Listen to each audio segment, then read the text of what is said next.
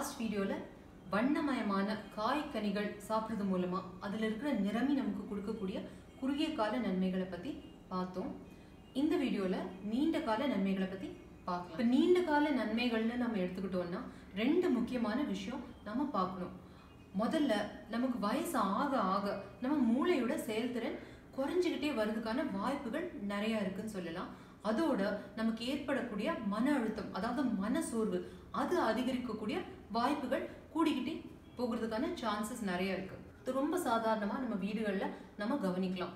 அதாவது வயசான பெற்றோர்களோ இல்லை வயது வந்து வேற முதியவர்களோ நம்ம வீட்டில் இருந்தாங்கன்னா முன்னாடி அவங்க ரொம்ப சாதாரணமாக செஞ்சுட்டு இருந்த எளிமையான வேலைகளை இப்போ செய்யறதுக்கு அவங்க ரொம்பவே சிரமப்படுறத நீங்க பார்த்துருக்கலாம். அதாவது ஒரு படி ஏறுறதோ ஒரு சின்ன ஒரு சாமானை இங்கிருந்து அங்கே நகர்த்தி வைக்கிறதோ இந்த மாதிரி வேலைகளுக்கு கூட அவங்க சிரமப்படுவாங்க.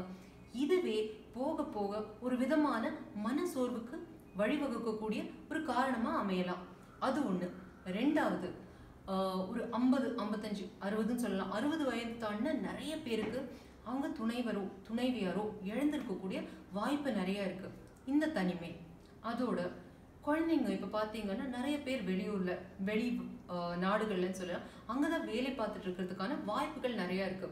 இந்த ஒரு சுச்சுவேஷனில் இந்த பெற்றோர்களும் இல்லை முதியோர்களும் தனியாக வீட்டில் இருக்க வேண்டிய சுச்சுவேஷன் உருவாகிறதுனால ஏற்படக்கூடிய மனசோர்வு மன உளைச்சல். இதுதான் முக்கியமான காரணங்களாக நம்ம எடுத்துக்கலாம். இது ஒரு பக்கம் இருக்கா. இன்னொரு பக்கம் வயது ஆக ஆக உதாரணத்துக்கு சொல்ல போனோம்னா ஒரு அறுபது அறுபத்தஞ்சு வயசை தாண்டின உடனே ஆல்ஷைமஸ் டிசீஸ்னு சொல்லக்கூடிய ஒரு மிக கொடுமையான ஒரு வியாதி வரக்கூடிய சான்சஸ் நிறைய இருக்குன்னு சொல்லலாம் அதாவது நம்ம மூளையோட செயல்திறன் குறைஞ்சிக்கிட்டே வர வர ஞாபக மருதி நிறைய ஏற்படக்கூடிய வாய்ப்புகள் அதிகமாகிக்கிட்டே போகும். இந்த ஞாபக மருதி படிப்படியாக அதிகமாகி அதிகமாகி ஒரு ஸ்டேஜில் எல்லாத்தையுமே மறந்து விடக்கூடிய அந்த தன்மை. அதாவது அவங்க அடையாளத்தையே அவங்க மறந்துடுவாங்க அதுதான் ஆல்ஷைமஸ் டிசீஸ் பார்க்கின்சன்ஸ் டிசீஸ்னு இன்னொரு வியாதி நீங்கள் கேள்விப்பட்டிருப்பீங்க. இந்த பார்க்கின்சன்ஸ் டிசீஸ் நம்ம எப்படி அடையாளம் கண்டுபிடிக்கலாம்னா உங்களுக்கு கை கால் எல்லாம் அந்த பெரியவர்களுக்கு உதறும். அதாவது ஒரு ரூம்லேருந்து இன்னொரு ரூமுக்கு போகவே கஷ்டப்படுவாங்க. கால் கை எதுலையுமே அந்த மூவ்மெண்ட்ஸ் ஒரு கண்ட்ரோலோடவே இருக்காது. இந்த ரெண்டுமே அதாவது பார்க்கின்சன்ஸ் டிசீஸ் ஆல்சைமஸ் டிசீஸ் ரெண்டு நோய்களுமே முதியவர்களை மனதளவில் ரொம்பவே பாதிக்கக்கூடிய கொடுமையான நோய்கள்னு சொல்லலாம். இப்போ இந்த ரெண்டுமே வராமல் தடுக்கிறதுக்கும் இல்லை வரதை இன்னும் ரொம்ப காலம் தள்ளி போடுறதுக்கும் நாம் எடுத்துக்க வேண்டிய காய் கனி வகைகள் இந்த ரெண்டு குடும்பத்தை சார்ந்த காய் கனி வகைகள் அதாவது இந்த நீலம் ஊதா மற்றும் சிவப்பு நிற காய் கனி வகைகள். இப்போ இந்த நீலம் ஊதான்னு எடுத்துக்கிட்டோம்னா இதில் இருக்கிற நிறமையோட பேர் ஆந்தோசைன்னு சொல்லுவாங்க. இந்த சிவப்பு நிற காய் கனியில் இருக்கிற நிறமையோட பேர் லைகோபின்னு சொல்லுவாங்க. இந்த ரெண்டு நிறமைகளும் மூளையோட செயல்திறனை அதிகரிச்சு மனசோர்வு மன உளைச்சல் ரெண்டுமே வராம தடுக்கக்கூடிய தன்மை கொண்டவைன்னு ஆராய்ச்சியில கண்டுபிடிச்சிருக்காங்க.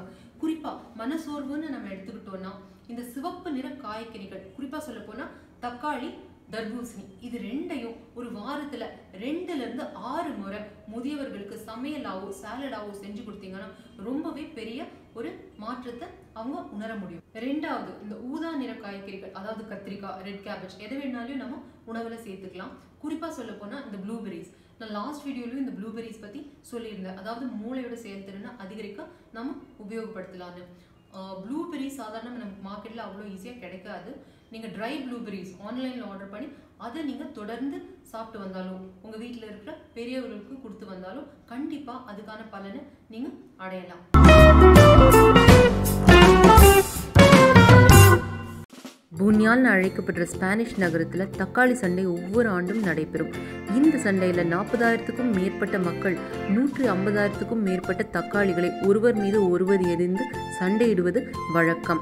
லாத்தமத்தினான்னு அழைக்கப்படுற இந்த சண்டையை பொழுதுபோக்கு கொண்டாட்டமாக ஸ்பானிஷ் மக்கள் கருதுகிறாங்க அடுத்த வீடியோவில் வண்ணமயமான காய்களை கொண்டு நம்ம உணவை எப்படி ஒரு சிகிச்சையாக யூஸ் பண்ணலாங்கிற தகவலோடு நான் உங்களை சந்திக்கிறேன். தேங்க்யூ